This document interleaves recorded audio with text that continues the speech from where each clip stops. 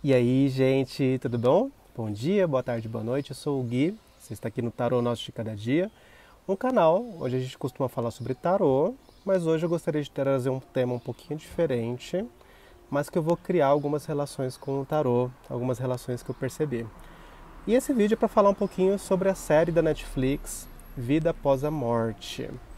É uma série de um documentário em formato de série, na verdade, eu comecei a assistir recentemente. Neste momento aqui eu estou apenas no, no, terceiro episódio, segundo ou terceiro episódio, mas achei muito interessante por ser um documentário que traz um ponto de vista científico e a gente sabe muito bem que o ponto de vista científico ele é muito, ele costuma ser muito materialista.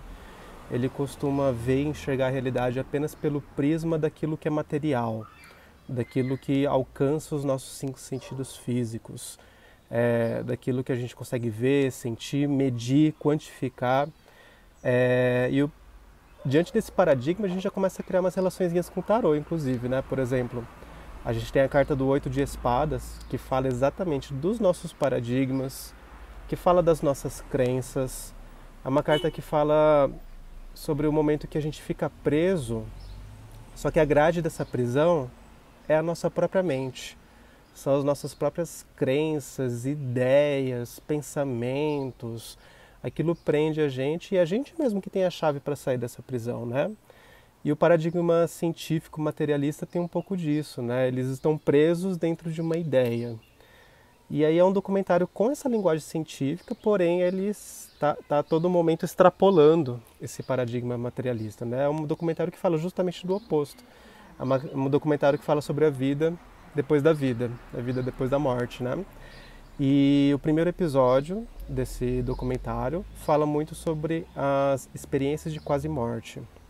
Existem muitos, muitos, muitos relatos de experiências de quase morte, né? Que a pessoa, o corpo físico da pessoa parou, parou a circulação, parou a atividade no cérebro, parou a oxigenação do cérebro por um período longo, por exemplo, teve é, experiências dela, dessas que duraram meia hora, ou seja, meia hora com o cérebro parado, não recebendo estímulo, não recebendo sangue, não recebendo alimento, parou.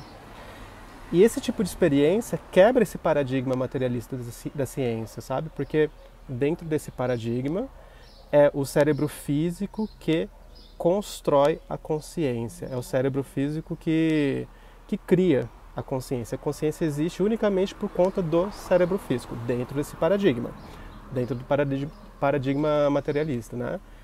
É, e essas experiências mostram o oposto, que o cérebro físico parou, morreu, teve um momento de morte mesmo, porém a consciência continuou. A.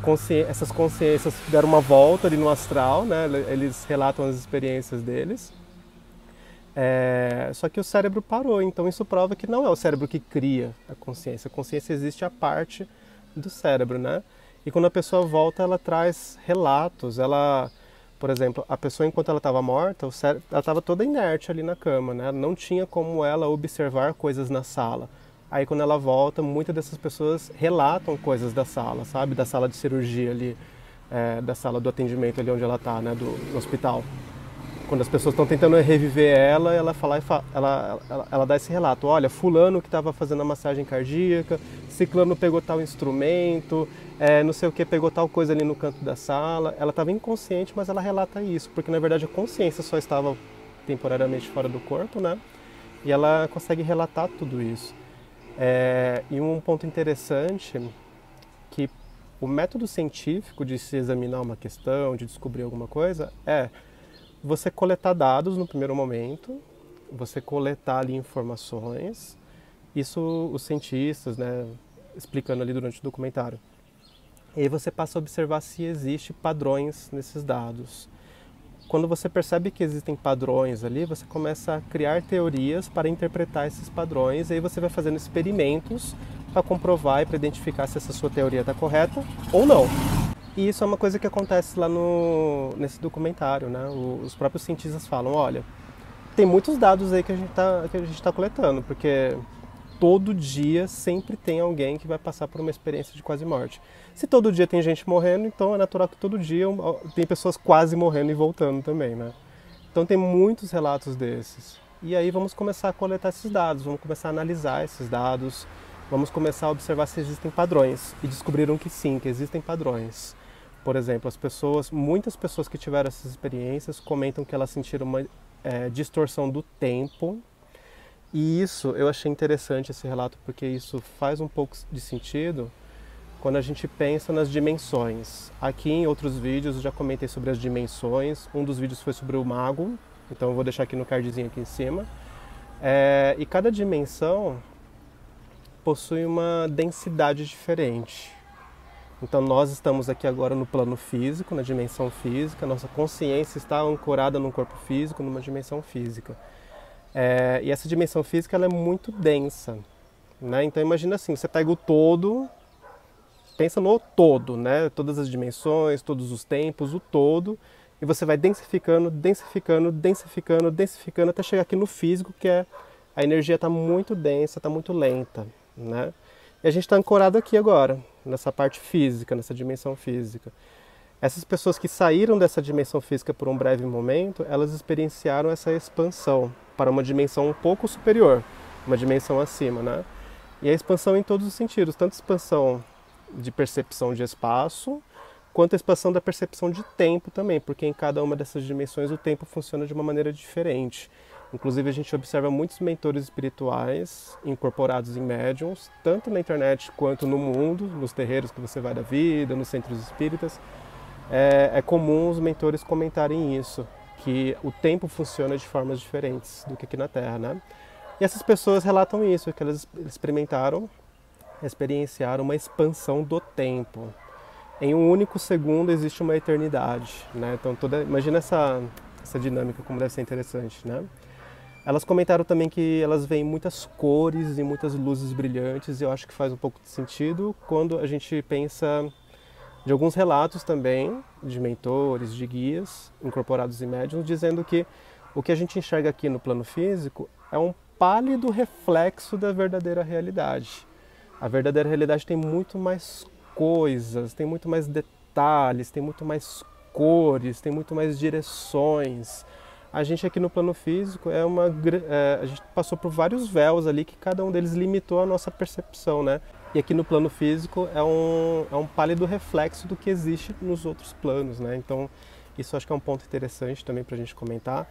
Isso tem um pouquinho a ver com os arcanos da Lua e da sacerdotisa. Esses arcanos falam para a gente sobre questões que estão ocultas, questões que estão escondidas, questões que nós, enquanto estamos acordados, despertos, em estados de vigia, a gente não vê, né? É, porque existem vários véus que estão ocultando essas outras realidades da gente. E essas duas cartas falam bastante disso, de coisas ocultas, de coisas escondidas, do contato com aquilo que está oculto, até mesmo o contato com o místico, o contato com o espiritual. Né? Então, ponto interessante também para a gente refletir sobre. Cara da mandioca tá passando. Um outro ponto que essas pessoas comentam também, que os cientistas observaram que é, que é um padrão em comum, é que muitos, muitas dessas pessoas relataram que entraram em contato com seres. Em alguns casos, são seres com aparência humana, digamos assim, e existem alguns outros relatos que são seres que no primeiro momento a gente não diz que é humano, né? né de alguma aparência diferente ali. E isso faz sentido em tanto sentido, gente, principalmente quando a gente pensa com, em algumas relações com o tarô. Primeiro a questão das aparências, das ilusões, né? Aqui no plano físico, como a energia é muito mais densa, é mais difícil e mais demorado a gente realizar modificações na nossa aparência, modificações na aparência das coisas, né?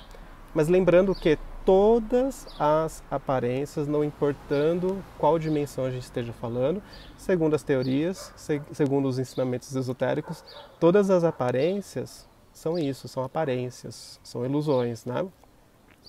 É, então, por exemplo, se a gente vai ter contato com seres do outro lado, esses seres eles podem escolher, como eles estão numa dimensão mais sutil, não tão densa como aqui na Terra, como essa matéria densa aqui. Se eles estão numa, numa dimensão cuja matéria é mais sutil, fica mais fácil eles decidirem que aparência que eles querem ter, sabe? E outra, é, aqueles que resolvem assumir uma aparência humana, isso cria na gente um, e nós humanos encarnados aqui, cria na gente uma facilidade para a gente compreender o que, que a gente está vendo e uma facilidade para a gente criar essa, essa confiança de entrar em contato com aquele ser, né? Agora, imagina que tem muitos humanos, por exemplo, eu sou um dos que acredita em alien, eu sou um dos que acredita em, em vida fora desse orbe físico aqui da Terra, né? O universo está povoado de vida. E cara, imagina quantas formas diferentes de vida não deve existir no universo que é infinito. Não é uma coisa que é limitada, é uma coisa que é infinita, né? Imagina a quantidade de, de, de formas diferentes de vida que não, deve, que não deve existir. Então, se esses outros seres assumem uma aparência humana, fica mais fácil a gente compreender eles, fica mais fácil a gente criar confiança de querer conversar com eles, de querer entrar em contato com eles. Mas tem muitos seres humanos que não têm essa abertura mental para possi a possibilidade de existir esses outros tipos de vida, né?